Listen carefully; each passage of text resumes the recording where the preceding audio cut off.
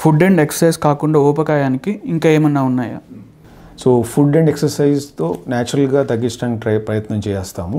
అది కానీ లేకుంటే దెన్ ఊబకాయం తగ్గటానికి బెరియాట్రిక్ సర్జరీ అనేది మీరు చాలామంది అందరూ విని ఉంటారు బెరియాట్రిక్ సర్జరీ అనేది సర్జన్స్ ఎండో లోపల పొట్ట సైజ్ తగ్గించడం కానీ పేగులు బైపాస్ చేయడం కానీ చేస్తారు.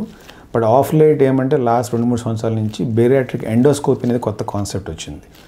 ఈ బెరియాట్రిక్ ఎండోస్కోపీ అంటే ఈ కటింగ్ కానీ ఏమి స్కార్ లేకుండా అంటే scarless or incision less it's not a surgery ఇది డే కేర్ ప్రొసీజర్ ఎండోస్కోప్తోనే లోపలికి వెళ్ళి స్టమక్ సైజ్ని తగ్గించేస్తాము. తగ్గించి దానివల్ల around fifteen to twenty percent weight loss మూడు నుంచి ఆరు నెలల వ్యవధిలో చేస్తాం. అండ్ ఎండోస్కోపీతోనే బలూన్ అని పెడతారు లోపల. సో ఇవన్నీ వేరే పద్ధతులు ఉన్నాయి. బట్ ఫస్ట్ న్యాచురల్గా డయట్ అండ్ ఎక్సర్సైజ్తో తగ్గించడానికి ట్రై చేయాలి.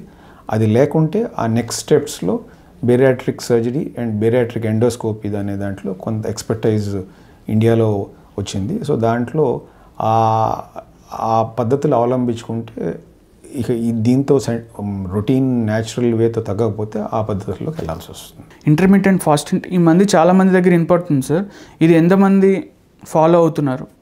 దీనివల్ల అడ్వాంటేజెస్ ఏంటి? బేరాట్రిక్ ఎండోస్కోపీ బేరాట్రిక్ సర్జరీ అనే దాంట్లో కాంప్లికేషన్స్ అనేది వెరీ మినిమల్ అండి. And there all safe procedures in fact bariatric endoscopy అనేది డే కేర్ ప్రొసీజర్ మార్నింగ్ వస్తే చేసి ఈవినింగ్ పంపించేస్తాం.